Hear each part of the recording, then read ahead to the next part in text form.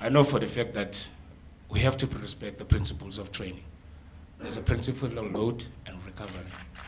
And now if these boys, they don't recover on time, definitely end of November, that's when they're gonna hit hard in terms of the recovery phase. And you won't be having a recovered Siphiwe Tshabalala or Yeye comes the National Cup, I mean, uh, AFCON.